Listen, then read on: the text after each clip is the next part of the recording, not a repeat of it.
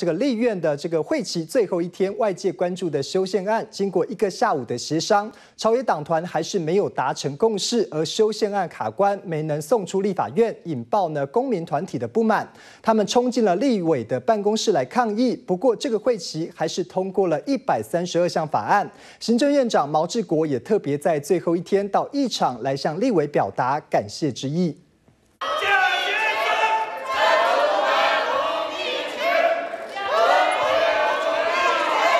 蓝军立委喊口号，表达各自立场。立法院这个会期已经结束，修宪案也确定无法送出院会。那修宪的工作今天没有没有完成的话，等于你临时会过来也没有用，也是以后的事啊。最后这几天啊，可以讲是这个挑灯夜战，这个非常辛苦。完成很多重大法案的这个审查，在立法院跟行政院大家这个一起合作之下，我们可以推出更多啊福国利民的法案。行政院长毛治国亲自到立院感谢委员们的辛劳。不过本会期的最后一天，立法院并不平静。不满修宪毫无进度，岛国前进成员吴玉景冲进立委办公室，要国民党团大党辩赖世宝踹狗。苏代，苏代，苏代，修宪，苏代，快点！警方强制驱离跟逮捕前太阳花学运成员王义凯，冲突引爆就是因为蓝绿协商破局。国民党一而再再而三的在讲，阁魁同意权是真正的这次修宪的重心。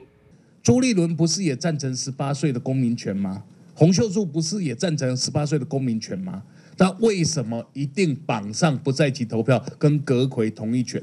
如果没有绑上，他们就通通拉倒。那到底他们是有没有诚意来修宪？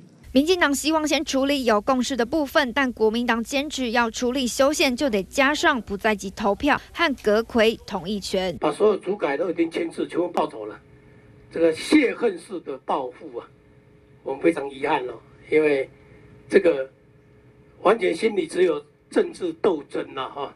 空荡荡的一场，堆满了等待审查的法案文件。会期最后一天，本以为会挑灯夜战，处理多个部会的组改修法，却因为修宪案协商谈不拢，也只能留待下会期处理。UDN TV 综合报道。